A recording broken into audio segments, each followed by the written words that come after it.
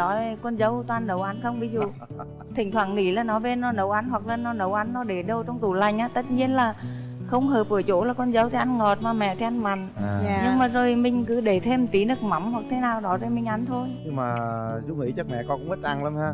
Dạ. dữ eo dữ sợ luôn. Mẹ con ít ăn lắm. Người thậm chí là nhìn này đói luôn. là người mẫu luôn đó. Có hợp thời trang với con không mẹ nói hay con nói. Thôi vậy thì xin lỗi cho tiết lộ tí tức là cái tủ quần áo của con thì con bảo là 80% phần trăm là đồ của mẹ rồi tức là mẹ cứ đi mua đồ về trẻ quá không thích là mẹ cho con hết. Áo dài thì con không mặc được cái con đâm là tủ của con là toàn đồ của mẹ không. Chà đỡ quá chị ha. Đồng hồ đeo với dầu thơm này nó là mẹ lo cho con hết. Ông cháu ông con nữa thì mai một không lo được cho châu nội cho nên là giờ cứ một một tháng là tôi để dành cho châu nội một triệu. Mà giờ châu nội 6 tuổi rồi mà đến lúc châu nội thì học đại học là đủ tiền để học đại học. Quá ngon. Wow. Năm 12 tháng 6 Ừ. năm rồi. Từ từ số đó lớn lên rồi gửi tiết kiệm nữa. Nhưng mà cô ơi đến thời điểm này thì có điều gì ở nàng dâu mà cô chưa hài lòng không? Cô chưa hài lòng ở chỗ là nó sạch sẽ quá nó kỹ tính quá với lại nó làm nhiều quá nó không dành thời gian cho bản thân nghỉ ngơi. Ví dụ ăn á, nói chú quyền chú quyền lính nghe là nó ăn mỗi buổi sáng nó ăn có 10 ngàn mà chồng nó là 100 ngàn. Nó cứ sống kiểu đó thử hỏi sao mình dần phải nghĩ đến bản thân mình mới mới nghĩ đến những người xung quanh được chứ. Đằng này á, nó hy sinh hết cho chồng con cho mọi người mà nó như vậy đó. Buổi sáng nó ăn có 10 ngàn trên số đó hài lòng ở cái điểm đó. Cái tính của, của chị đó hay lo xa là một hay nghĩ tới người khác. Cho dù người ngoài cũng vậy, mình lúc nào mình cũng ví dụ như người ta cần giúp đỡ là mình giúp là mình không có suy nghĩ tới là ờ giúp người ta là giúp lại, không có giờ suy nghĩ gì đó. Còn chồng cũng vậy. Chồng là tính ra mười mấy năm hay là hầu hầu như là không biết nấu ăn. Có chị nấu thôi nhưng mà không biết nấu. Duy nhất có một lần là hôm mới đẻ đó, là nó có nấu. Con người nam mà, thì con ăn vừa vừa ngọt vừa mặn. Mà nhờ con nhờ chồng kho cá là kho cá gì mà toàn đường không mà, ngọt mà không có mặn ăn không được xong rồi tự con xuống con là nấu ăn luôn. Có bao giờ mẹ chồng la nàng dâu chưa? Không con trai mà về mẹ tôi nâng dâu á tôi lầm lỡ luôn chứ mà con dâu mà mẹ tôi con trai là tôi la con trai. Quá trời thương rồi. Mẹ còn thấy còn để ý tới con dâu có ăn 10 ngàn hoài thấy không? Vậy chứ mỗi bữa sáng mẹ ăn nhiêu mẹ. Hả? Mẹ mẹ ăn nhìn năm ngàn. Mẹ không ăn. Ủa gì kỳ vậy? Con dâu ăn 10 ngàn mẹ la gì cuối cùng mẹ đâu ăn đâu. Bởi vì sống một mình đâu có ai quản lý đâu thích ăn ăn không ăn thôi. Con kể con kể chú nghe nè hôm đó mẹ bị bệnh hôm đó con đi làm về thì con ghé biết mẹ bệnh mà thì giới thiệu về mình. Xin chào quyền linh chào lê lộc chào quý vị khán giả. Tôi là phan thu hiếu 59 tuổi cán bộ ưu trí. Tôi ở bên hòa đồng nai. À. Dạ dạ em xin mời chị ạ. À, em chào chú Quỳnh Linh chào đến MC Đan Lộc à, tên là Hà Thị Kim Tuyền năm nay Dạ. 36 tuổi. À, công việc là nội trợ. Chị làm dâu của mẹ được bao nhiêu năm rồi? Ừ, cũng hơn 13 năm rồi. Wow. Đừng ngần ngại, hãy đăng ký ngay tại fanpage Mẹ chồng nàng dâu hoặc gọi hotline để có những kỷ niệm đáng nhớ cùng mẹ chồng nàng dâu. cái ngày đầu tiên mà mẹ chồng nhìn thấy con dâu của mình thì cảm nhận về cô con gái thế nào? Cũng xin báo cáo với các bạn là lúc đầu tôi nghe nói là con dâu làm việc ở nhà hàng, thì gia đình tôi là, công chức thì tôi cũng thích ừ, cái nghề nghiệp của con dâu, cho nên là tôi cũng à, bữa tôi đi tiếp khách công ty ở dưới dưới chỗ quán ăn thì tôi thấy mấy người bạn tôi bảo là, cái bàn ăn bên cạnh có con dâu của tôi. Thì tôi nhìn sáng thì thấy ngồi với mấy người Hàn Quốc thì tôi chỉ nhìn sáng thôi, bởi vì tôi cũng thích rồi, cho nên cũng quan tâm là cô đó xấu hay đẹp hoặc thế nào hết. Nhưng mà ít bữa sau thì thấy con trai đưa về, thì tôi hỏi con đã biết à, thằng Tấn thế nào chưa? Đại khái tôi cứ hỏi vậy cố tình để cho nó giảm ra nhưng mà nó bảo là nó đã chấp nhận nó thương rồi. Bởi vì mình đã cũng thích rồi thì cô tôi hỏi sơ qua vậy rồi hai đứa nó chơi tí rồi nó về. Nó về thì hai đứa nó thuê nhà trọ nó ở. Thì trời nghe đất đất nghe trời thì một thời gian sau đó thì tôi mua cho hai đứa một cái nhà riêng để cho ở riêng luôn. Ở gần thôi. Tức là ngay lúc đầu là mình cảm nhận mình không thích rồi. Đúng rồi. Cố tình cho tụi nó chia rẽ nhau luôn vậy đó đúng hả? rồi. Lúc đó em có biết điều đó không đầu thì con không biết. Thật ra là à, mẹ cũng hiểu lầm. Cái thời gian đó là con với chồng con cũng là bạn bạn bè anh em bình thường. Cũng gần hơn gần hai hai năm rồi. Thì sau đó thì hai đứa con mới yêu nhau. Thường nếu mà nói dẫn khách Hàn Quốc á đi ăn uống rồi đi du lịch này kia là chồng con đều biết. Tại vì chồng con là người đi thuê đò cho người ta. Mẹ thì cũng nghe lời nói chung là một số người thì người ta không thích con đó thì người ta nói à con bé này nó, nó hay dắt hay đi cùng với người người này người kia mà đi đông số lượng đông nữa chắc mẹ cũng nghĩ xấu. Này chắc con bé này chắc ờ, chắc không tốt hay sao? Nghĩ vậy. Cái lần đầu tiên chị có cảm thấy ấn tượng điều gì không? Chị xin phép kể chút xíu nha. Dạ. Thật ra lần đầu tiên mà nói gặp mẹ thì là gặp tấm hình của mẹ. Có tới nhà mẹ chơi mà không gặp mẹ mà là gặp đứa em gái em chồng á. Nhìn mẹ thì thấy ấn tượng ấn tượng mẹ lắm. Tại vì thấy mẹ là phúc hậu lắm. Nhìn gặp mắt của mẹ đó thấy mẹ có nét buồn buồn mà sao giống như tâm sự giống mình nữa. Thành chương trình hôm nay con cũng giải thích mẹ với mẹ. Chính xác là lần đầu tiên con gặp mẹ là là cái hôm mẹ đi làm về chồng con chở anh về cũng ngang cũng gần nhà đó mẹ nhớ không? Rồi con đi xe chồng con chở xe đạp điện. Thì con ngồi phía sau con đuổi nón lá rồi cầm một tờ báo rồi mình đọc. Không biết mẹ tại vì cũng chưa chưa gặp mẹ ở ngoài mà. Thường nghe chồng nói là mẹ anh kìa. Thì mẹ nói mẹ anh kìa thì nó qua xa quá rồi. Thì đâu chào được đâu xong rồi chồng cũng chở mình về luôn. Con nghĩ chắc mẹ cũng cũng giận con đúng không mẹ? Sau này con nghe chồng con nói là cái con bé này sao nó gặp mẹ đến không chào? Ai biểu lo đọc báo chị? Tại vì con ngồi mà con ngồi biết sau mà con con đội nó cái nón nữa cái nón lá nữa. Có nghĩa là ban đầu nó không có thuận buồm xuôi gió. Dạ, dạ, rồi. dạ. rồi vậy thì cái chuyện đăng ký kết hôn đó thì mẹ có đồng ý không? Đăng ký kết hôn thì bà ngoại làm hết. Để con kể cái hôm đó chính xác là con bị bệnh mà vừa bệnh vừa uống thuốc mà vừa có uống một bia có uống bia nữa. Cho nên người mệt ở phòng trọ hay đâu có ai đâu. Thì lúc đó là con có điện cho chồng con chồng con xin mẹ. Nhưng mà mẹ không cho đi. Nhà phía sau có một cánh cửa. Bên hàng xóm thì có một cái một cái rào. Xong rồi chồng con trèo lên trèo lên cái bờ rào á. Đang mặc cái quần quần, quần đuôi mà. Xong mẹ kéo xuống tụt quần. Trời ơi. Mẹ kéo xuống tụt quần. Xong rồi à, mẹ nói giờ này mày đi thì mày đi luôn. Thế là chồng con trèo tường đi luôn. Đi qua thực qua phòng trọ ở con luôn. Thật ra là lúc đó ở phòng trọ thì trước giờ có ở có mình à cho nên là mấy người hàng xóm á người ta cũng thương mình lắm. Không mà cái lúc đó thời gian đó thì hai vợ chồng cũng ở nhau được hơn một năm rồi. Rồi tự nhiên hai chồng nói thôi giờ bây giờ đi đăng ký kết hôn. Tại cũng không nói mẹ một tiếng nào luôn chắc mẹ giận. Giận chứ. Rồi rồi rồi làm sao mẹ biết được? Sau này mới biết được cái khi mà mua cho hai đứa một căn nhà rồi hai đứa về ở rồi, rồi mới biết được thì cũng phải chấp nhận thôi. Trong thời gian là ở với nhau một hơn một năm thực ra mẹ cũng thương. Hàng tháng là mẹ vẫn chu cấp tiền cho có ông cậu nữa còn thảo. Cậu cũng lâu lâu cậu ghé phòng cậu cho tiền. Trước đó thì chồng có làm chung công ty với mẹ. Rồi sau rồi chồng mẹ nghỉ thì vì là không có thì con là người đi làm. Đó hai xong rồi lo tương lai cho, cho hai đứa thôi. Ngay từ ban đầu là cô chưa chấp nhận nàng dâu này. Thì lý do gì để mà cô mua một căn nhà cho anh chị ở riêng cô bởi vì cô thấy nó ở trò tội quá càng sống thì cô biết là trên đời này chưa có nàng dâu nào như là nàng dâu này cô nghĩ là cũng chưa có con dâu nào mà nói với mẹ chồng. Nó không phải nói một lần mà nói nói rất là nhiều lần là kiếp sau mà được làm người thì con cũng mong được làm con của mẹ.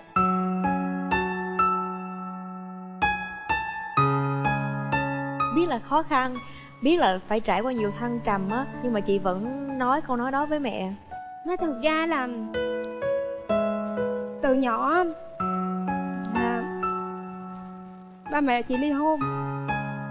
Chị ở với ông bà ngoại mà nói chung cực khổ lắm lúc năm mấy năm tuổi thôi.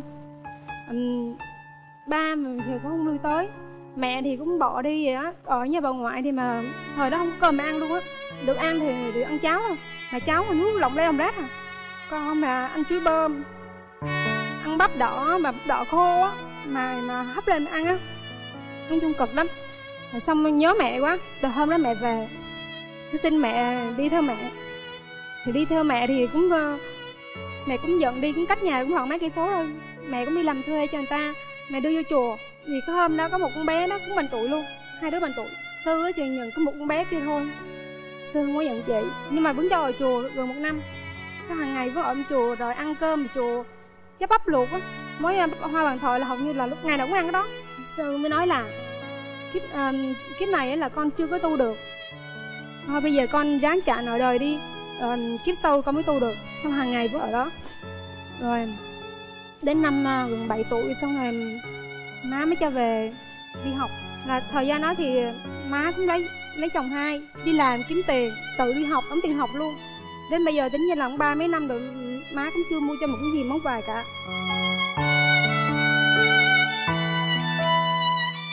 Con rất là yêu thương cái tình cảm của mẹ chồng dành cho mình. Nhưng mà rồi sau đó thì à, tụi con sinh con mẹ có biết không? Dạ không. Hôm đó là mẹ đi mẹ bị đi mổ ruột thừa đúng không mẹ? Con có bầu 5 tháng rồi. Mẹ không biết. Tại vì người con nhỏ xong con mặc áo thì nó nó phòng lý xíu thôi. Rồi con đeo một cái ba lô trước nè cho mẹ không thấy. Nhưng mà bạn của mẹ đi thăm mẹ thì người ta phát hiện ra. Người ta cũng hỏi mẹ à, chắc ông tiền hình như có bầu hay sao á? Thì mẹ nó không có đâu không có đâu. Khi mà mẹ xuất viện á thì mẹ cũng thấy à, lúc đó mẹ giận. Giận là vì thế này chú Quyên lính này Bởi vì là chồng nó cũng chưa có, có trưởng thành. Mà nguyện vọng á Bởi vì là hoàn cảnh của chị là Chồng mất, chồng mất đến hôm nay cả 22 năm rồi. Một mình mẹ lo cho hai đứa con Mà hai đứa con thì đều không khỏe mạnh cho nên là là là cứ nghĩ là phải thân con trai phải trưởng thành để nó đủ khả năng để nó lo cho vợ và cho con nó, thì đó, khi đó nó lại có con. Nhưng mà nó chưa trưởng thành, chưa có công an việc làm, chưa gì cả mà nó đã có bầu rồi, tức là tôi không đồng ý cái chuyện đó. Tôi dần dần từ khi nó mang bầu cho đến khi nó sanh con ra một tháng rồi, tôi mới hết dần. Ngay trần tháng cháu thì bắt đầu cũng nghe bạn bè khuyến này nọ, tôi mới ra ngoài nhà, rồi bắt đầu là lo cho cháu nội này nọ. Chứ còn thời gian trước là tôi dần cho nên khi nó sanh nở thì bà ngoài lo hết nhưng mà tôi vẫn gửi tiền về để cho nó lo cái việc sinh nở. Giận chứ tâm lý bất kỳ một bậc cha mẹ nào cũng giận chứ. Mình khuyên con là khoan lấy nhau nhưng con tự đăng ký kết hôn mình khuyên con là khoan có cháu thì con lại có cháu trước. Rồi mình thấy hợp với con dâu những điều gì? Tôi hợp với con dâu ở chỗ là hai mẹ con thì thích làm từ thiện nơi xấu con trai. Gặp nhau là nơi xấu con trai. Chị cảm thấy mình hợp với mẹ điểm gì nữa? Hợp với mẹ tuổi nè từ tính cách nghĩ là mẹ ruột không mà mẹ mua cho, cho từng bộ đồ mua cả nước hoa tại vì hai mẹ con giống nhau sở thích nước hoa lắm thích làm đẹp nữa. Cho nên là ừ. mình có bao giờ mình về mình ở chung với mẹ một ngày nào đó hay một khoảng thời gian nào đó chưa chị? Ừ, dạ chưa. Chứ là cũng nhà cũng gần cho nên cứ qua lại qua lại thôi. Vậy thì chắc mà công việc làm dâu ví dụ như là nấu ăn nè dọn dẹp nhà cửa hay là giặt giũ gì thì mình có thể là chắc mình chưa có phụ được cho mẹ nhiều đúng không vậy là nó 13 hơn 13 năm luôn rồi à là tức là là chị vẫn qua dọn dẹp nhà cửa cho mẹ. Cái thời gian rảnh á là chị cứ qua và dọn dẹp cho nhà mẹ vậy đó sắp xếp đồ đạc cho mẹ cho em chồng nữa. Rồi con dâu nấu ăn mình thấy hợp hợp khẩu vị không? Bởi vì là là không biết nấu ăn. Hồi xưa chồng con sống thì chồng chăm rồi rồi chồng mất rồi thì hai đứa con gửi một đứa ở bình dương rồi một đứa ở thủ đức rồi con cơ quan thì ở đông nai cho nên cứ chạy đi chạy về vậy nên mẹ con chỉ ăn cơm tiệm thôi. Chở cái khoản đó con dâu toàn nấu ăn không? Ví dụ thỉnh thoảng nghĩ là nó về nó nấu ăn hoặc là nó nấu ăn nó để đâu trong tủ lạnh á. Tất nhiên là không hợp ở chỗ là con dâu thì ăn ngọt mà mẹ thì ăn mặn. À. Dạ. nhưng mà rồi mình cứ để thêm tí nước mắm hoặc thế nào đó để mình ăn thôi. Nhưng mà chú nghĩ chắc mẹ con cũng ít ăn lắm ha. Dạ. giữ eo dễ sợ luôn. Mẹ con ít ăn lắm. Người Thậm này là nhìn đói luôn. là người mẫu luôn đó. Có hợp thời trang với con không mẹ nói con nói. Thôi vậy thì xin lỗi cho tiết lộ tí tức là cái tủ quần áo của con thì con bảo là 80% phần trăm là đồ của mẹ rồi tức là mẹ cứ đi mua đồ về trẻ quá không thích là mẹ cho con hết. Lâu dài thì con không mặc được cái con đâm là tủ của con là toàn đồ của mẹ không? Chà đỡ quá chị ha. Đồng hồ đeo với dầu thơm này nó là mẹ lo cho con hết. Ông cháu không con nữa thì mai một không lo được cho cháu nội cho nên là giờ cứ một một tháng là tôi để dành cho cháu nội một triệu. Mà giờ cháu nội 6 tuổi rồi mà đến lúc cháu nội thì học đại học là đủ tiền để học đại học. Quá ngon. Wow. Năm 12 tháng 6 Ừ. năm rồi. Từ từ số đó lớn lên rồi gửi tiết kiệm nữa. Nhưng mà cô ơi đến thời điểm này thì có điều gì ở nàng dâu mà cô chưa hài lòng không? Cô chưa hài lòng ở chỗ là nó sạch sẽ quá nó kỹ tính quá với lại nó làm nhiều quá nó không dành thời gian cho bản thân nghỉ ngơi. Ví dụ ăn á, nói chuyện quyền chú quyền lính nghe là nó ăn mỗi buổi sáng nó ăn có 10 ngàn mà chồng nó là 100 ngàn. Nó cứ sống kiểu đó thử hỏi sao mình dần phải nghĩ đến bản thân mình mới, mới nghĩ đến những người xung quanh được chứ. Đằng này á, nó hy sinh hết cho chồng con cho mọi người mà nó như vậy đó. Buổi sáng nó ăn có 10 ngàn tiền xối đó hai long ở cái điểm đó. Cái tính của, của chị đó hay lo xa là một hay nghĩ tới người khác cho dù người ngoài cũng vậy. Mình lúc nào mình cũng thí dụ như người ta cần giúp đỡ hay là mình giúp là mình không có suy nghĩ tới là ờ, giúp người ta là giúp lại không có giờ suy nghĩ gì đó. Còn chồng cũng vậy. Chồng là tính ra mười mấy năm hay là hầu hầu như là không biết nấu ăn. Có chị nấu thôi nhưng mà không biết nấu.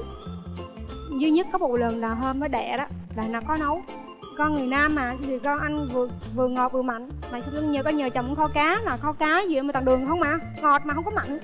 Ăn không được xong rồi từ con xuống con là nấu ăn luôn. Có bao giờ mẹ chồng la nàng dâu chưa? Không con trai mà về mẹ tôi nâng dâu á. Tôi lầm lỡ luôn chứ mà con dâu mà mẹ tôi con trai là tôi la con trai. Quá trời thương rồi. Mẹ còn thấy còn để ý tới con dâu cứ ăn 10 ngàn hoài thấy không? Vậy chứ mỗi bữa sáng mẹ ăn nhiêu mẹ. hả? Mẹ năm ngàn mẹ không ăn ủa gì kỳ vậy? Con dâu ăn 10 ngàn mẹ la gì cuối cùng mẹ đâu ăn đâu? Bởi vì sống một mình đâu có ai quản lý đâu thích ăn ăn không ăn thôi. Con kể con kể chú nghe nè hôm đó mẹ bị bệnh hôm đó con đi làm về thì con ghé biết mẹ bệnh mà thì sáng hôm đó con kêu chồng con mua phở cho mẹ rồi ăn rồi. Đi làm về mà xong rồi con ghé rồi con kho cá lóc cho mẹ để giờ mẹ ăn cơm. Tính của mẹ là mẹ lười nấu lắm. Thà là mẹ nhịn thà mẹ ăn mì gói. Thực ra là hôm đó cuối cùng mẹ ăn mì gói thiệt nhưng mà mẹ ăn có nửa gói à tha chung luôn nhưng mà ăn nửa gói trừ nửa gói lại để chưa ăn. Xong rồi nghe thấy con dâu về cái đem cái, đem cái nồi mì ấy đi giấu trong nhà trong buồng á. Thì chồng mới nói à trời ơi mẹ nghe em về cái mẹ đem giấu mì mẹ sợ em đi độ cuối cùng mẹ không không, không ăn. Hai ngày sau luôn rồi mẹ đi chuyển hai chai nước bị rồi mẹ. Vậy là hơn cái số tiền ăn sáng luôn. Dạ. Không phải là không muốn ăn hay không ăn mà tôi muốn giữ dáng thôi. Giờ đi thi hoa hậu quý bà là đậu chắc luôn á mình có cái sở thích gì không?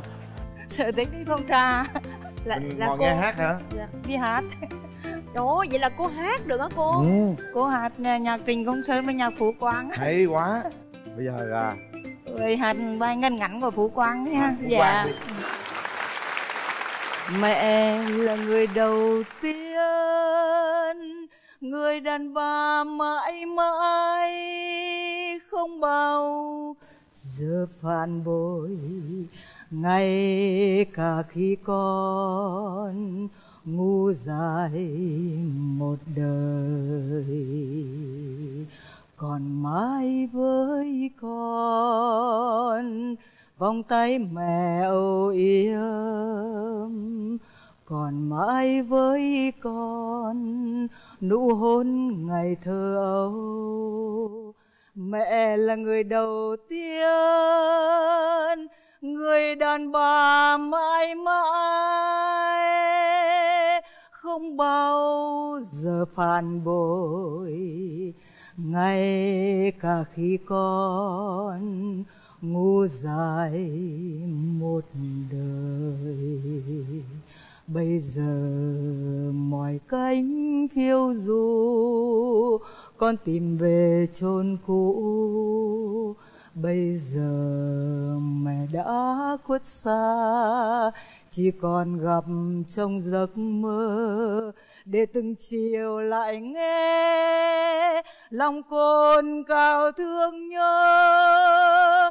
Con gọi thầm, mẹ ơi mẹ ơi để từng chiều lại nghe lòng con cao thương nhớ con gọi thầm mẹ ơi mẹ ơi. Ôi hay quá. nổi hết da gà luôn á hôm nay thì à, con của cô có gửi một lá thư đây. Không nhớ là đã bao lâu rồi con không nói con yêu mẹ. Không phải con đánh mất chữ hiếu càng không phải vì tất bật với cuộc sống mà con vô tình không thổ lộ cảm xúc với mẹ. Rất nhiều lần trong tin nhắn gửi đến mẹ con đều nói con yêu mẹ. Nhưng rồi con lại xóa. Con thấy có lỗi và cảm giác xấu hổ khi gửi đến mẹ ba từ này, bởi vì ở độ tuổi của con, đúng ra mẹ phải được an nhàn, tuổi già. Sự buồn rầu luôn thể hiện trên gương mặt của mẹ. Trong lòng canh cánh nỗi niềm, lo lắng, vì đứa con vẫn chưa thực sự trưởng thành như mẹ mong muốn. Con xin lỗi mẹ. Mong mẹ hãy tha thứ cho con. Con sẽ cố gắng thay đổi để mọi thứ trở thành tốt, đẹp hơn mẹ nhé. Mong muốn của con là mẹ luôn luôn chú ý đến sức khỏe của mẹ đó. Vẫn là một à, người nữa. Con nghĩ cũng cùng chung suy nghĩ nỗi niềm như mẹ. Đó là vợ của con đó mẹ. Người đã luôn bên con suốt bao nhiêu năm qua và cũng chịu không kém biết bao nhiêu gian khổ trong cuộc đời này. Mình ơi anh thật lòng xin lỗi em. Em đã chịu đựng quá nhiều những cái biến cố trong cuộc sống. Mong muốn của anh là em hãy cố gắng kiềm chế bước cái sự nóng tính của mình anh nghĩ như vậy thì sẽ hiệu quả hơn trong việc dạy dỗ con cái em à anh thương mình và con nhiều lắm đó. Mẹ ơi con yêu mẹ. Một bức thư à, đầy cảm xúc. Nghĩ sao về lá thư này? Khi mà chị đọc cái lá thư này thì chị cảm nhận là anh đã trưởng thành chưa? Anh đã thay đổi nhiều so với trước kia chưa? Nói thay đổi thì chắc cũng không nhiều đâu. Cũng gần 40 tuổi rồi nhưng mà vẫn còn ham chơi lắm tin bạn bè lắm. Thậm chí cái xe máy thôi. Mới đây cách mấy tháng với nhiêu. Bạn nói không có tiền là đi cầm xe máy cho bạn luôn. Rồi đây con trai sẽ thay đổi thôi. Cảm ơn à, con hôm qua tặng cháu. À có quà tặng đó. Trời ơi. Ôi cha nặng dữ à. À, mẹ tặng con. Cảm ơn mẹ. Mẹ ơi mẹ có thể ờ, bật mí là gì không mẹ? Con mời đi rồi dâu thơm. Dầu thơm. Trời ơi trúng gu con dâu rồi. Chú cũng khoái dầu thơm lắm con cũng khoái. Cho sự ké miếng. À, gửi tặng một kỷ niệm để à, nhớ ngày mình tham gia mẹ chồng nàng dâu nha. Con cũng xin được thay mặt chương trình gửi tặng cô và chị Đây là Ala Bio với thành phần 5 Ala Được chứng nhận lâm sàng về hiệu quả tăng cường chuyển hóa đường thành năng lượng Giúp ngăn ngừa và hỗ trợ điều trị đái tháo đường. Xin cảm ơn cô và chị đã đến tham gia chương trình ạ